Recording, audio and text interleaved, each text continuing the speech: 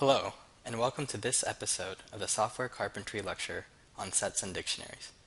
In the next few minutes, we're going to look at how to reverse engineer the process of evolution and how dictionaries can make that simpler. You don't have to look at the natural world very hard to realize that some organisms are more alike than others. For example, if you look at the appearance, anatomy, and life cycles of these seven fish, you can see that these two are closely related, as are these two, and these two. But what about the seventh?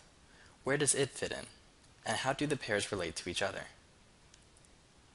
As Theodosius Dobzhansky said almost a century ago, nothing in biology makes sense except in the light of evolution.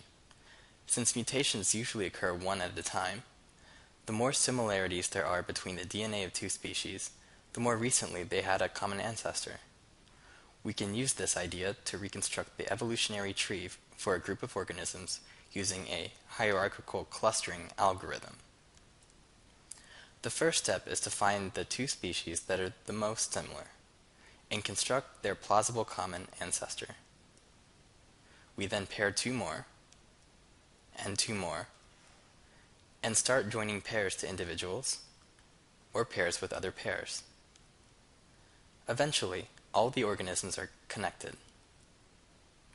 We can redraw those connections as a tree, using the heights of branches to show the number of differences between the species we're joining up. Let's turn this into an algorithm. Initially, our universe U contains all the organisms we're interested in. While there are still organisms that haven't been connected to the tree, we find the two that are closest, calculate their common parent, remove the two we just paired up from the set, and insert the newly created parent. The set of ungrouped organisms shrinks by one each time, so this algorithm eventually terminates. And we can keep track of the pairings on the side to reconstruct the tree when we're done. Now, what does closest mean? One simple algorithm is called unweighted pair group method using arithmetic averages. Let's illustrate it by calculating a phylogenetic tree for humans, vampires, werewolves, and mermaids. The distances between each pair of species is shown in this table. We only show the lower triangle because it's symmetric.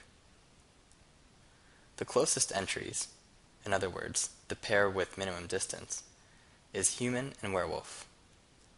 We will replace this with a common ancestor, which we will call HW. Its height will be one half of the value of the entry. For each other species x, we will calculate a new score for HW and x as the quantity hx plus wx minus hw divided by 2. For example, we will combine HV and VW, which are in yellow, and HM and MW, which are in green, which leaves us with this new matrix. The height of HW is half of the 5 we eliminated, or 2.5. Repeating this step, we combine HW and V, and finally HWV with M. Our final tree looks like this and the missing heights are implied by the differences between branch values. Right, how do we translate this into software? We illustrated our algorithm with a triangular matrix, but the order of the rows and columns is arbitrary. It's really just a lookup table mapping pairs of organisms to numbers. And as soon as we think of lookup tables, we should think of dictionaries.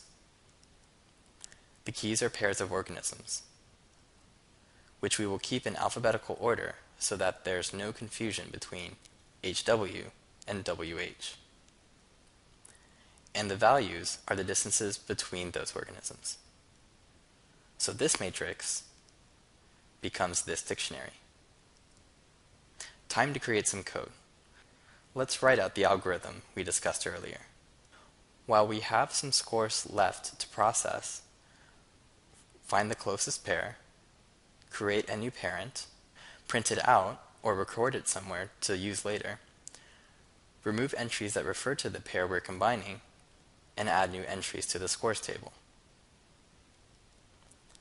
This code assumes that the scores are in a dictionary called scores. It also assumes that the names of the species are in a list called species. And yes, it took us a couple of false starts to come up with this code.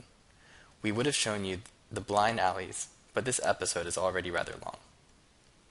Let's start writing the functions our overall algorithm assumes.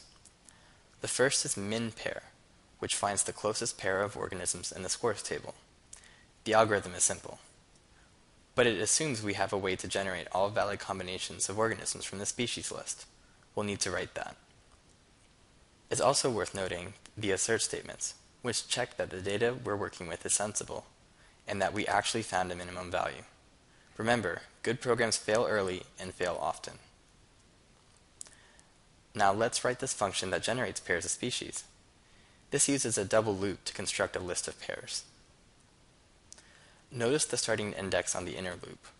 If the outer loop is at position i, the inner loop starts at position i plus 1, which ensures that each possible pair is only generated once. Here's what our program looks like so far. There's a main body and two functions, find min pair and combos.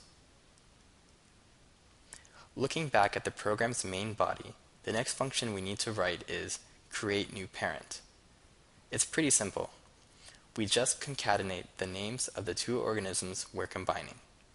The new score is just half of the score for the pair we're combining. We put square brackets around the name to make it more readable, and so that we can easily see the order in which things were paired up. Three functions down. What's next? Looking back at our main program, we need to remove entries from the scores table that refer to the organisms we're pairing up. Oh, and we need to take their names out of the list of species too. That's pretty easy to do.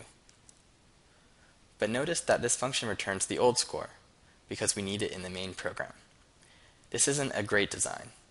There's nothing in the name remove entries to suggest that we're saving and returning the old score. And it isn't immediately obvious why we're doing this. As an exercise, try rewriting the main program so that remove entries doesn't have to return anything and see if you think it's easier to understand. So much for our fourth function.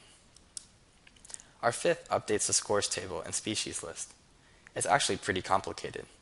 For each species that isn't being paired up, we have to calculate the combination of that species with the two halves of the new pair, saving the scores for later use, create a pair that includes the newly constructed parent, and save our work. When we're done, we have to add the newly created parent to the list of species. And then there's this call to sort the species list. If we don't do this, our program will produce a wrong answer. After this episode is over, take a few minutes to review the code and see if you can figure out why. Again, this is an example of not very good design. If it isn't clear why something is being done where it is, it should be moved or explained. Our program now has five functions and a main body. But we're still not done. We need to write the tidy up function we referred to in update. It, in turn, assumes a function called makePair that combines a pair of species, which simply constructs a tuple of the species name ordered alphabetically. Remember, we're ordering names so that each pair has a unique representation. Our two new functions fit into our program as shown here. We have nothing left to write, so let's try it out. If we run it with four species we used as an example earlier, the output is as shown here. These are the same values we had in our example tree, so we seem to be on the right track. As exercises, try writing unit tests for this code and then modify the program so that it displays the entire reconstructed tree. Oh, and try to figure out why the update function has to sort things, or what symptoms you'll see if you don't do this. Thank you for listening.